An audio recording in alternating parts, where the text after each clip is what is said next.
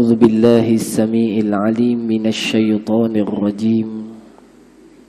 بسم الله الرحمن الرحيم.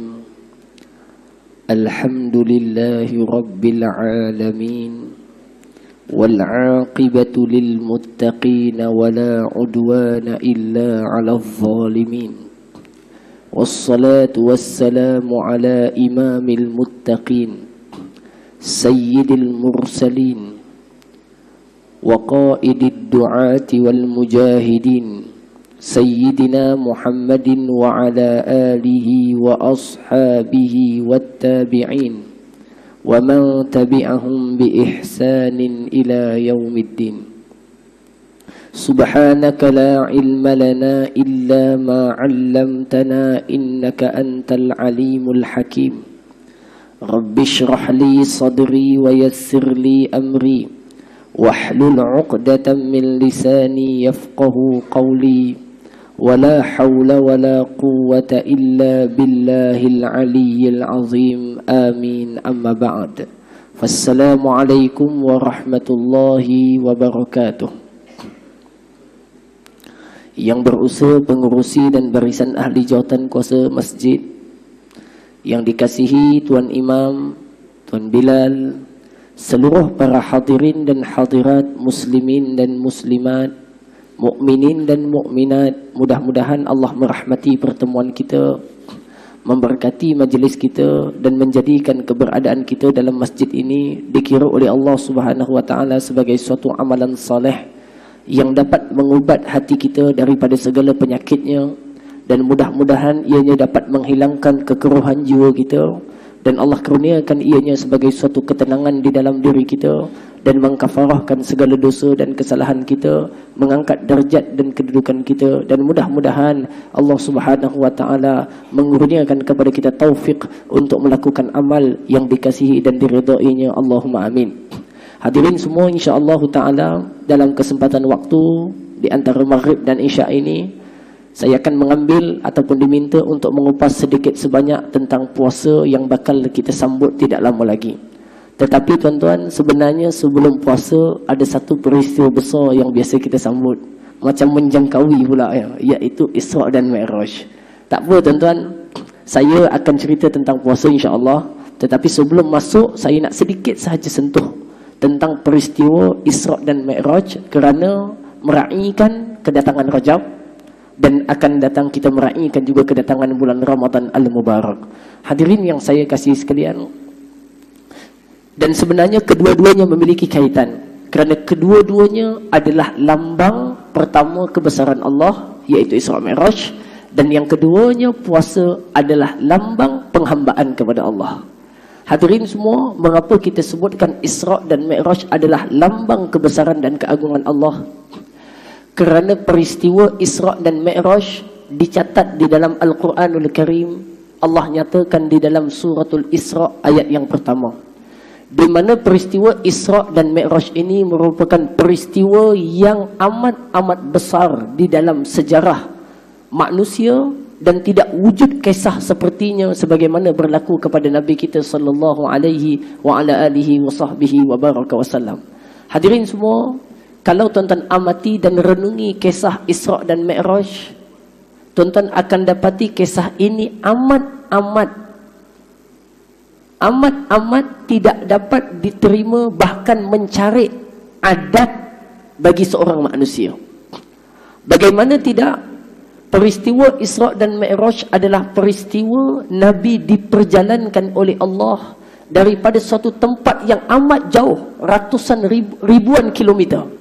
Ribu kilometer, iaitu daripada Makkah untuk sampai ke Palestin. Ribu kilometer. Dan daripada ribuan kilometer itu baginda Nabi sallallahu alaihi wasallam menyelesaikannya dalam sebahagian malam, bukan satu malam, sebahagian malam. Lebih dahsyat daripada itu, dalam sebahagian malam yang sama Nabi sallallahu alaihi wasallam telah dimi'rajkan oleh Allah Subhanahu wa taala. Dan permulaan Mi'raj Nabi sallallahu alaihi wasallam itu bermula daripada Masjidil Aqsa di Palestin.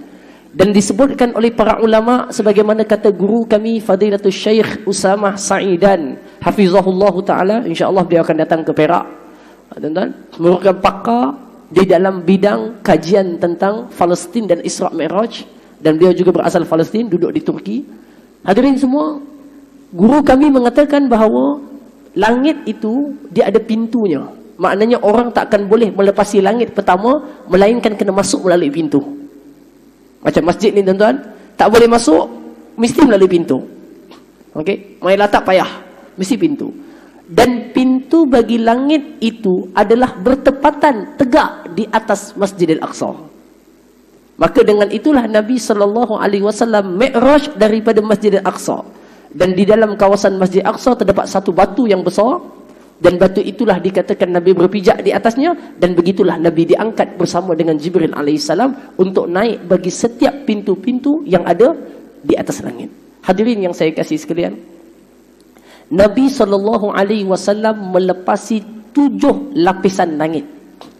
Yang mana satu lapisan langit sahaja tidak mampu dilepasi oleh manusia di zaman kita dengan segala kehebatan dan kekuatan teknologi.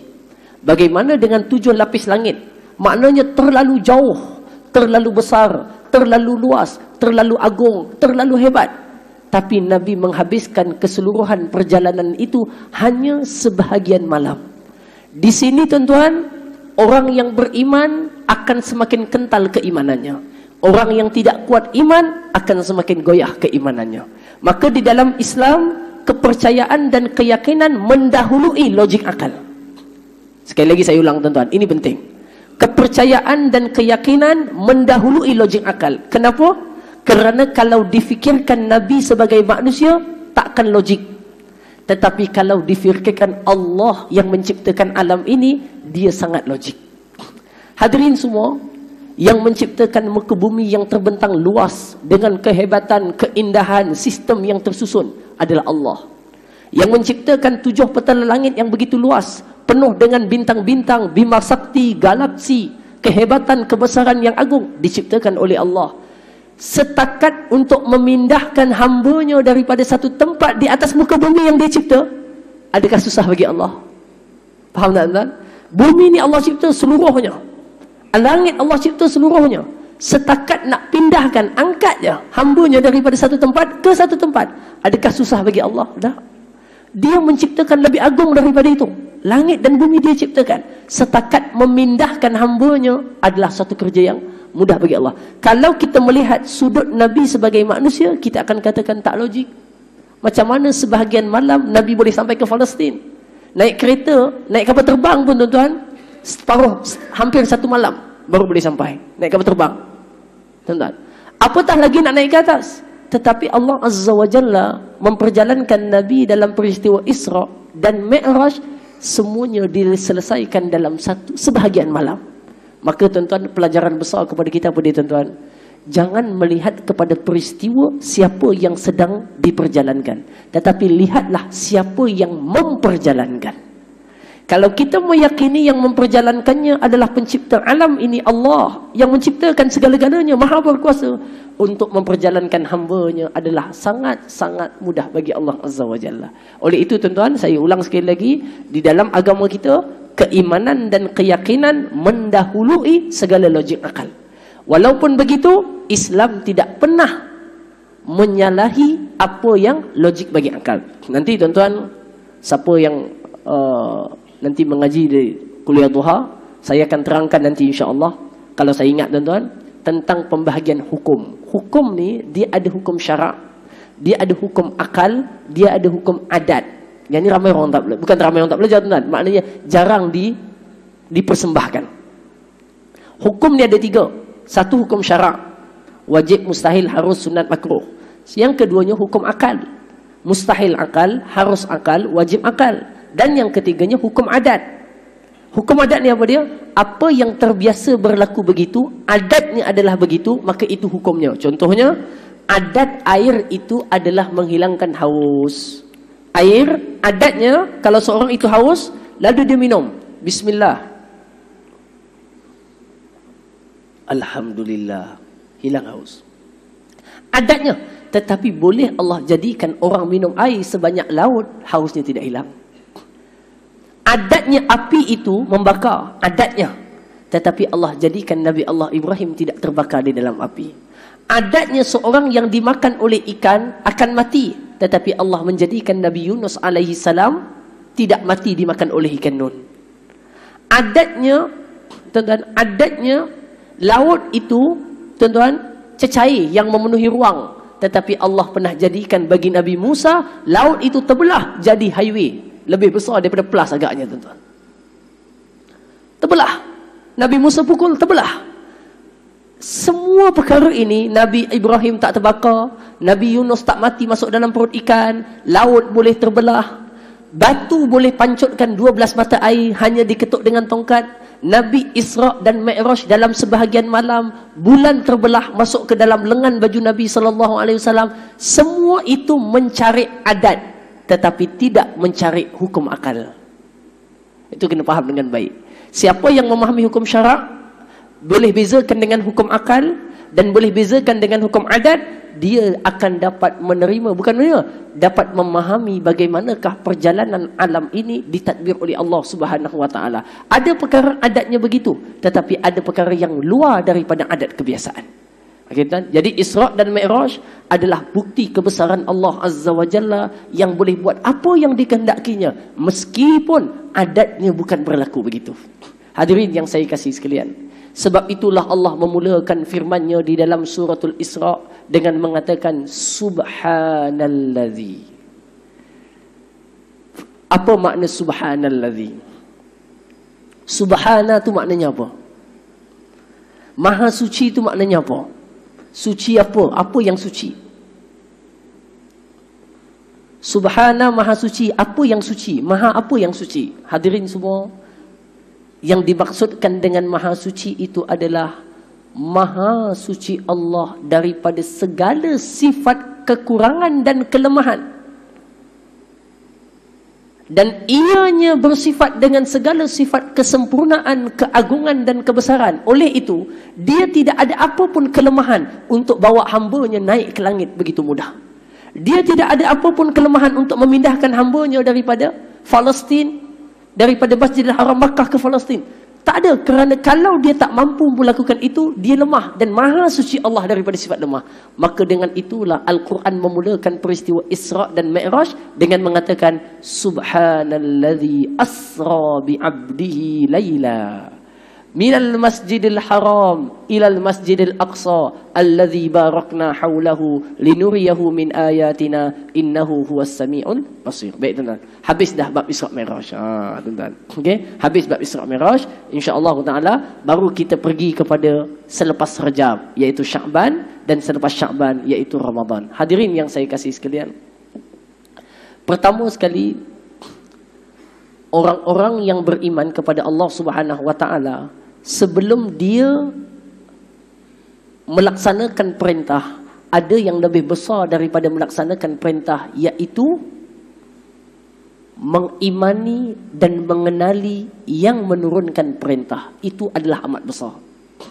Saya selalu sebut tuan-tuan dalam banyak siri pengajian saya dan ini menjadi poin paling penting dalam dakwah Nabi alaihi salatu wassalam Nabi wasallam memperuntukkan masa yang amat lama iaitu 13 tahun di Makkahul Mukarramah yang mana tugasan Nabi selama 13 tahun ini dengan satu objektif. Apa dia tuan-tuan?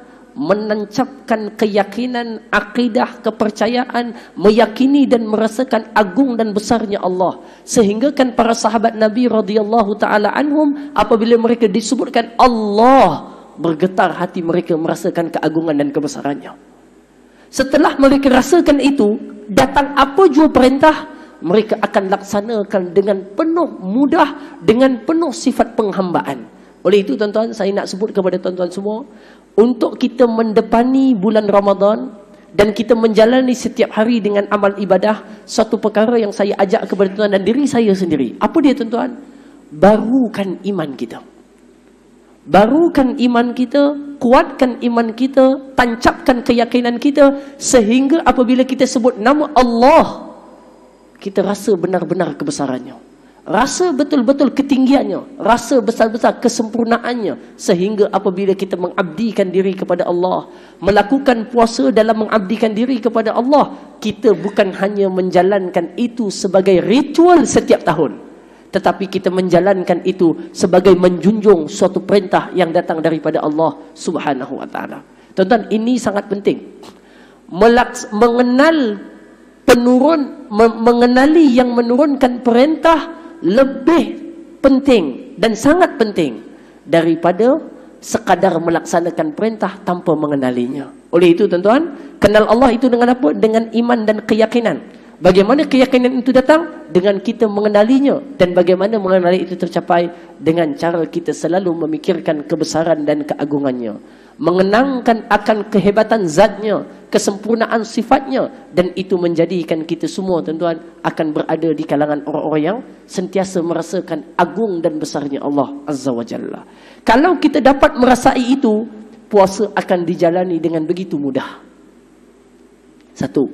Yang keduanya, puasa itu betul-betul dapat meningkatkan nilai takwa kita kepada Allah. Kalau tidak, tuan-tuan kita akan jalani puasa sekadar tak makan dan tak minum.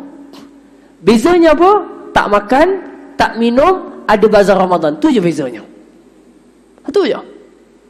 Tetapi kalau kita mendepani puasa itu dengan takwa kepada Allah, dengan iman kepada Allah, yakin dan kenal kepada Allah, tuan-tuan, sifat orang yang imannya sempurna itu apa tuan-tuan?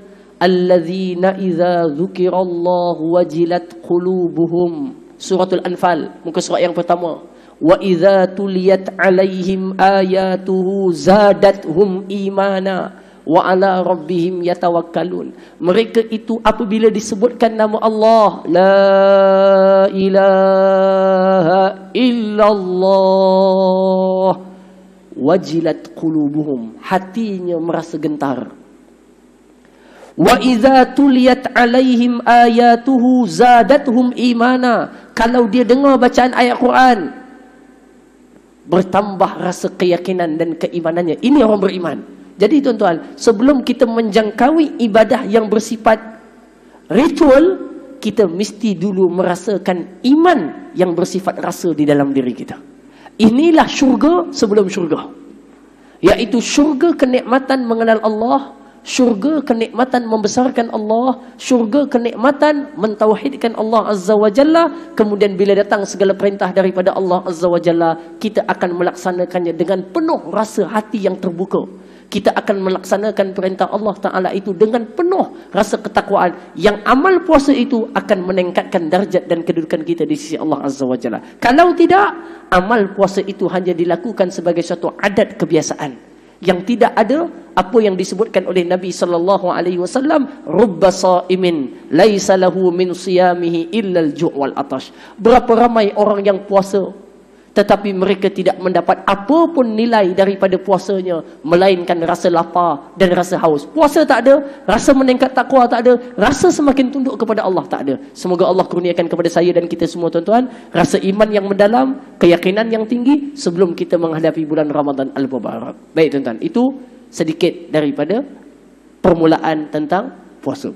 Sekarang kita masuk pula tentang bagaimanakah para ulama salafus soleh menghadapi bulan Ramadan. Hadirin semua, disebutkan oleh para ulama-ulama Islam seperti Al-Imam An-Nawawi rahimahullahu taala.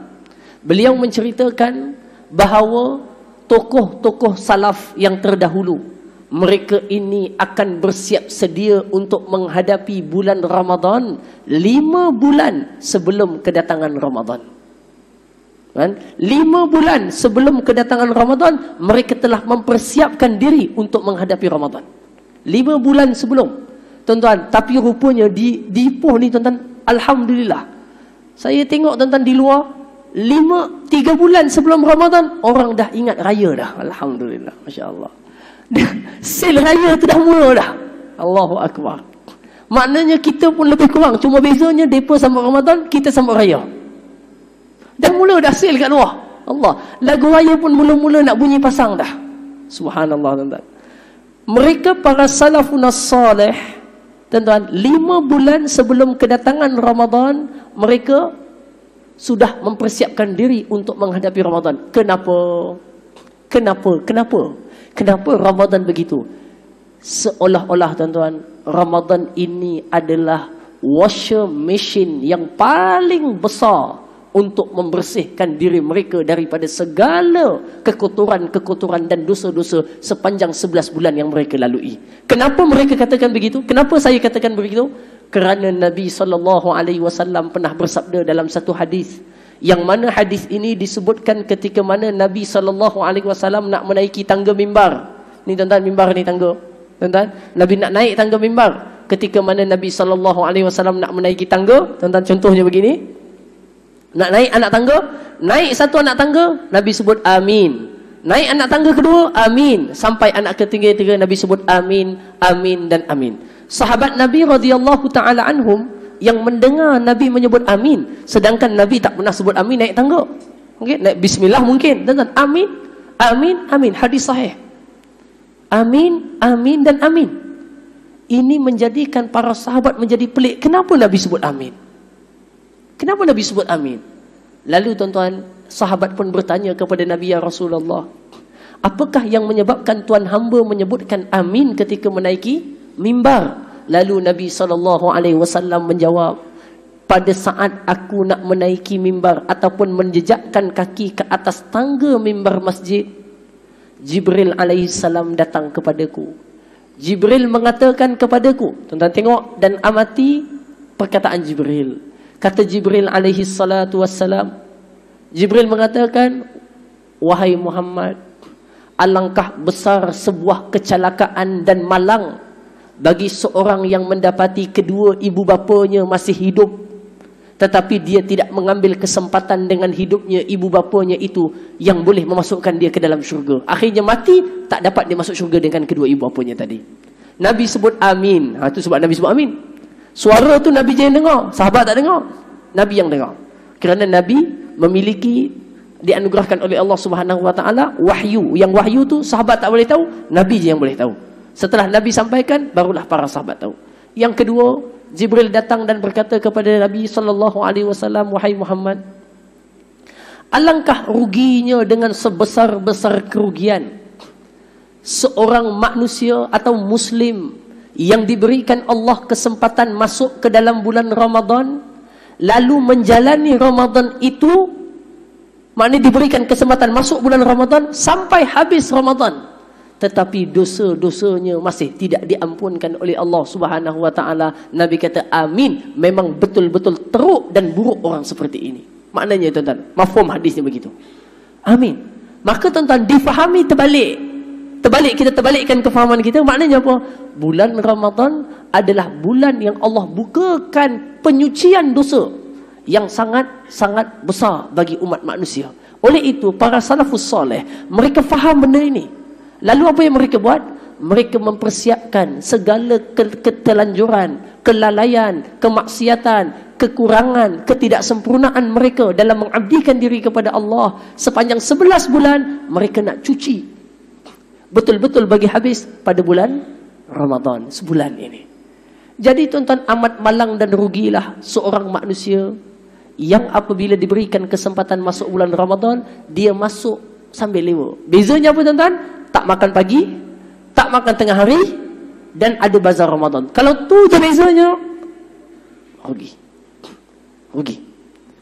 Pembezanya apa tuan-tuan? Dia masuk dengan hati yang penuh tunduk kepada Allah dan pengharapan kepada Allah semoga mudahan masuknya dalam bulan Ramadan dia dapat tunaikan hak Ramadan dengan sebaik-baiknya.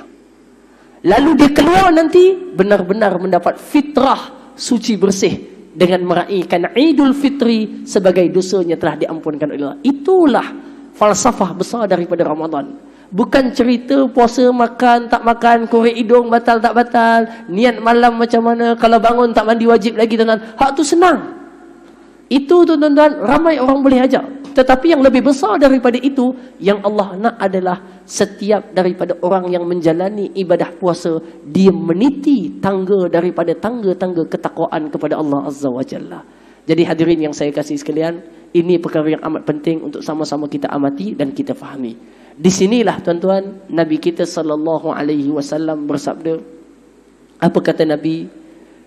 Kata Nabi sallallahu alaihi wasallam, "Man shoma Ramadan imanan." Ha tu imanan. Tu yang nak mula sekarang ni tuan-tuan. Imanan dengan rasa keimanan yang kuat, rasa keimanan yang sempurna, rasa keyakinan kepada Allah, rasa ketundukan penghambaan kepada Allah, wahtisaban atau ihtisaban ni penting. Ihtisaban ni daripada sekarang, tuan-tuan. Saya pun bila dapat tajuk ni, tuan-tuan, saya mula nak suntik ihtisaban itu. Iaitu apa? Dengan penuh keimanan dan penuh rasa pengharapan kepada penerimaan, fadilat, ganjaran, keampunan dalam bulan itu. Tapi kalau kita masuk, kita tak ada letakkan apa-apa impian. Masuk je. Jadi Ramadan macam mana? Alah sama je macam tahun lepas. Tak makan juga. Maknanya siang tak makan juga. Tak. Tak dia memiliki satu pengharapan, satu jihad, satu kekuatan untuk menjalaninya sebagai proses pembersihan dan penyucian tubuhnya daripada segala keburukan dan kemaksiatan. Hadirin yang saya kasih sekalian, sebab itu Nabi sebut man sama Ramadan, siapa yang menjalani bulan Ramadan, imanan dengan penuh keimanan, wahtisaban dengan penuh pengharapan besar kepada Allah supaya Allah ampunkan dosanya dan angkat darjatnya daripada darjat ketakwaan ghufira lahu ma taqaddama min dhanbih Allah akan mengampunkan segala dosa-dosanya yang telah lalu nampak tuan-tuan masuk Ramadan jalani dengan baik kita ada berapa minggu lagi tuan berapa bulan lagi haji Ramadan dua, dua bulan tak sampai dua bulan tak sampai dua bulan tuan-tuan. Kalau mereka salafus soleh, lima bulan sedia. Kita tak sampai dua bulan. Kalau belum ada rasa nak bersedia tuan-tuan. Maknanya kita lagi hebat daripada salafus soleh. kita lagi hebat daripada salafus soleh. Hadirin yang saya kasih sekalian. Ini perkara yang perlu kita amati bersama. Tuan-tuan eh? Mesti siap. Tuan-tuan. Kalau orang rumah tuan-tuan, dekat rumah tu dia buat persiapan makannya, simpan apa peti kemah rumah. Kenapa? Mina, semah rumah. Pergi pasar apa? Nak siap-siap Ramadan. Orang terkejut. Orang lain nak siap-siap raya, dia nak siap Ramadan. Tapi inilah sunnah para salafun salih. Iaitu mempersiapkan diri untuk Ramadan. Lebih besar daripada mempersiapkan diri untuk air raya. Bukan salah siap untuk air raya. Tetapi yang mana lebih agung dan besar. Iaitu bulan yang Allah akan ampunkan dosa kita. Itulah kejayaan kita tuan-tuan. Hadirin yang saya kasih sekalian. Sahabat Nabi satu melakukan satu kesalahan besar sahabat Nabi melakukan kesalahan besar. Apa kesalahannya? Kesalahannya adalah apa dia? Tak ikut pergi perang Tabuk. Namanya siapa? Siapa namanya? Hmm. Mana? Cendekiawan-cendekiawan kuliah duha muttaqim. Cendekiawan-cendekiawan, ilmuwan-ilmuwan. Ha, Makcik-makcik yang jawab biasa kat belakang tu mana? Ha. Tuan-tuan ni janganlah buat muka sedih, buat muka gembira kan dah dapat Perdana Menteri baru. Orang Johor tuan-tuan. Dah. Dan tuan-tuan kena gembira sebab saya tetap di sini. Pasal saya tak ditabalkan jadi Perdana Menteri. Kalau saya ni saya tak ada kat sini dah tuan-tuan. Alhamdulillah. Jadi hadirin semua. Tuan-tuan, apa tadi saya nak cakap kan dah hilang.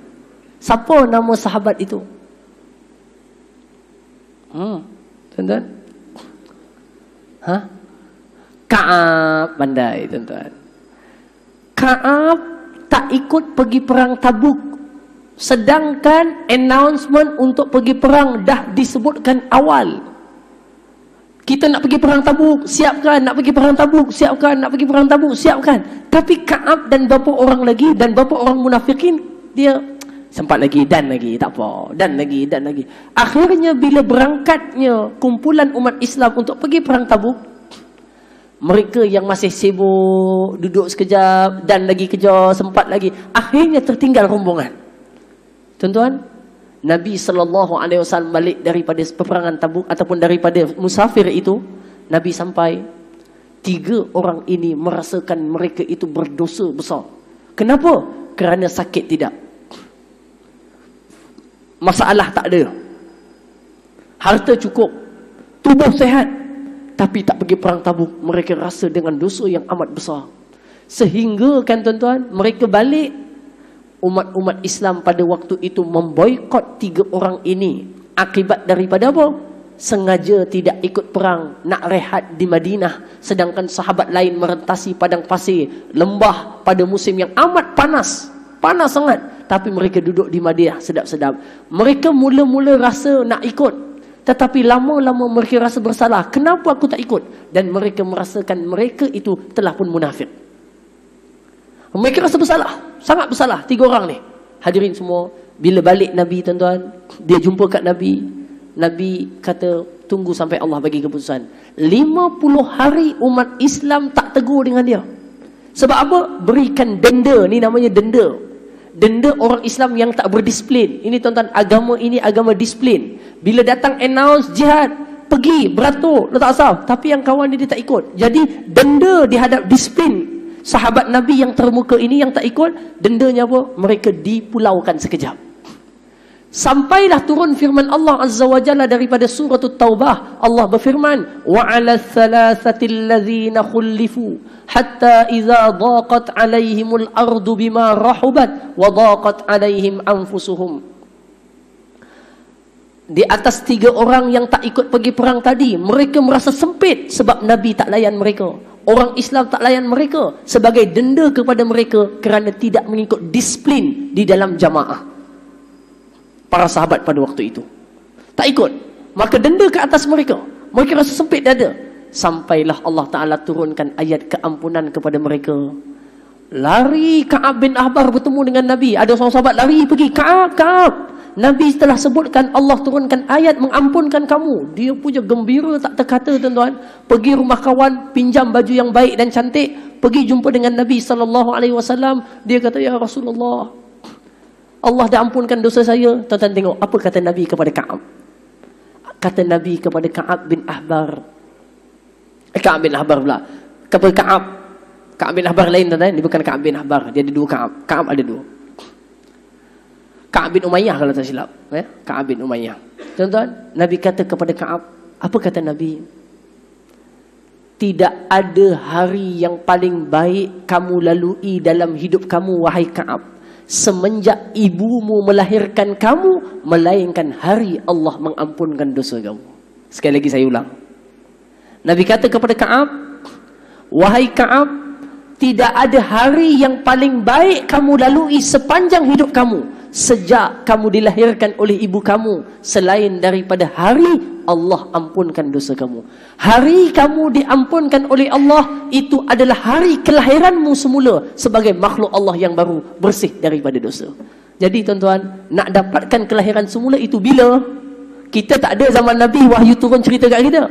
Maka tuan-tuan, Nabi Allah Ta'ala sebutkan ianya ada dalam bulan Ramadan. Oleh itu hadirin semua, ambillah kesempatan ini dengan baik. Buatlah persiapan ini dengan baik. Berbaki beberapa hari lagi dengan baik. Kita susun sama-sama tuan-tuan. Rancangkan sama-sama nak buat apa. Nak buat macam mana. Nak bagi macam mana Ramadan kali ini dengan begitu baik. Nak susun dengan baik. Nak buat apa. Tuan-tuan kita susun dengan baik. Mudah-mudahan tuan-tuan Allah taufikkan kepada kita dengan taufik yang baik semoga kita semua dapat menjalani setiap detik dan waktu yang boleh menerima dan memberikan keampunan kepada kita semua. Saya pun kena muhasabah kita pun kena muhasabah. Tuan-tuan Quran yang berapa banyak kita nak buat. Jadi tuan-tuan pendetailan amalan tu tuan-tuan setelah ni saya bagi ni dia punya base dia. Okey kalau kita ada jumpa lagi nanti kalau saya tak dilantik jadi menteri dah tuan-tuan ha? kalau dilantik jadi menteri tak ada lagi kat sini tuan-tuan ha? Tapi kalau dilantik jadi menteri, saya kena pergi ke KL lah tuan-tuan ya. Hadirin semua, ini base-nya. Kalau kita ada pertemuan lagi akan datang, dia punya cerita adalah amal apa yang kita nak susun dalam bulan itu. Pasal amalan-amalan dalam bulan itu teramat dan terlampau banyak. Teramat terlampau banyak. Sebagaimana saya nak sebut kepada tuan-tuan semua, contoh amalan para salafun as-salih Imamul Bukhari menghatamkan Al-Quran dalam bulan Ramadan setiap satu hari, eh, setiap tiga hari sekali khatam Al-Quran. Setiap tiga hari sekali khatam Al-Quran. Ataupun setiap empat hari dua kali khatam Al-Quran. Tuan-tuan, itu. Begitulah juga Sayyidina Uthman ibn Affan. Begitu juga yang pernah dilakukan oleh Al-Imam Nasyafi'i rahimahullah dan begitu juga dilakukan oleh Al-Imam Abu Hanifatul Nu'man ketika sampai bulan Ramadan. Itu bab Quran saja, belum pergi kiam. belum pergi puasa, belum pergi zikir, belum pergi iktikaf. Jadi hadirin semua, yang tu tu kita buat. Tapi tuan-tuan, semua amalan ni kita takkan buat dengan penuh rasa hubungan dengan Allah kalau kita tak kukuhkan base. Base apa yang tadi itulah. Mesti dimulakan dengan rasa iman dan penghambaan barulah kita melaksanakan perintah yang diperintahkan oleh Allah Azza wa Jalla. Maknanya apa tuan-tuan? Syariat ni penting. Tetapi sebelum syariat dilakukan mesti wujud keyakinan mesti wujud keimanan, mesti wujud ketauhidan sehingga kita mengagung dan membesarkan Allah dan tidak ada yang lebih besar daripada Allah Azza wa Jalla barulah ibadah kita itu akan menjadi ibadah yang menghubungkan kita dengan Allah la'allakum tattaqun. Boleh tuan-tuan no? Ha, ada soalan nak tanya tuan-tuan? Ada dua minit saja lagi. Saya berhenti on time tuan-tuan. Ada soalan? Ha? Tak faham? Oh, nanti dulu. Ada soalan nak tanya, tuan-tuan. Berkaitan dengan persiapan Ramadan, bagaimana persepsi kita terhadap Ramadan, bagaimana iktikad keyakinan kita terhadap Ramadan. Kalau ada tuan-tuan boleh tanya. Kalau tak ada saya buat kesimpulan. Ha. Tuan-tuan. Ha, silakan. Oh, ini oh, sama aja orang tanya. Ha, silakan. Hmm. Hmm. Ya. Tuan-tuan, yang mereka tak tegur, tak buat apa semua dimulakan dulu oleh Nabi. Sampaikan ke tahap sahabat tuan-tuan, sahabat ni punya cinta kat Nabi tuan-tuan tak banyak kita tak payah sembang, itu cerita bab lain.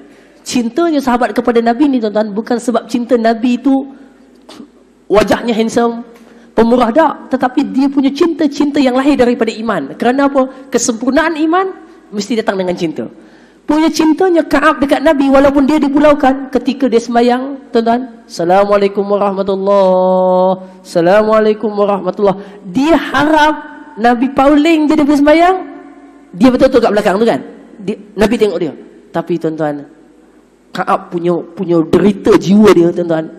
Bila Nabi Assalamualaikum warahmatullahi Assalamualaikum warahmatullahi Nabi paling je tuan-tuan wajah Nabi tak tengok kat muka dia. Begitu pedih bukan pedih tuan-tuan begitu hibanya hati dia nabi tak nabi tak tuan-tuan nabi buat itu tuan-tuan bukan nabi ada sifat benci tak tidak tidak tidak. Ini dinamakan sebagai kaedah mendisiplinkan tentera-tentera umat Islam supaya apa? Berdisiplin ada kaedah ada peraturan ada tindakan sedih sebab itu Kaab bila turun ayat mengampunkan dia ya Allah tak terkira gembiranya jumpa kat nabi nabi pun kata wahai Kaab tidak ada hari yang paling bahagia bagi wahai Kaab semenjak kamu dilahirkan oleh ibumu melainkan hari Allah mengampunkan dosamu. Baru Kaab gitu. Kenapa sendiri buat begitu? Buat itu sebagai apa? Dipanggil sebagai iqab iaitu denda kepada mereka yang tidak yang menyalahi disiplin-disiplin dalam peperangan ataupun disiplin dalam menyahut seruan perang. Itu sedikit sebanyak. Okay, tuan kalau tak ada tuan insya-Allah taala sebagai kesimpulan kepada pertemuan kita pada malam ini hadirin semua, apa yang saya nak sebut adalah tuan-tuan, iaitu bermula daripada sekarang, bermula daripada sekarang letakkan azam dan niat. Kalaupun kita mati sebelum sempat bertemu Ramadan tuan-tuan, mudah-mudahan azam dan niat kita itu dinilai oleh Allah dan kita diberikan oleh Allah Taala dengan ganjaran yang besar dan keampunan daripada sisi. Azam dan niat yang baik. Azam dan niat yang betul yaitu untuk kita sama-sama mudah-mudahan tuan-tuan menjalani dan mempersiapkan diri kita untuk bertemu dengan bulan Ramadan Al-Mubarak dengan sebaik-baik persiapan dan sebaik-baik amalan untuk kita bertemu dengan bulan Ramadan yang mudah-mudahan menjadi satu tempat mengkisar dan menggugurkan segala dosa dan kesalahan kita. Keluarnya kita daripada Ramadan nanti akan datang sebagai orang yang fitrah suci dan bersih daripada segala dosa kecil maupun dosa besar. Allahumma amin. Sekadar itu saja aku lu qauli hadza wa astaghfirullahal azim li wa lakum. Allahumma anfa'na bima 'allamtana wa 'allimna ma yanfa'una wa zidna 'ilma rabbana atina fid dunya hasanah wa fil akhirati hasanah wa qina adzabannar. Sallallahu alaihi sayyidina Muhammad wa ala alihi wasallam. Alhamdulillahi rabbil alamin. Assalamualaikum warahmatullahi wabarakatuh.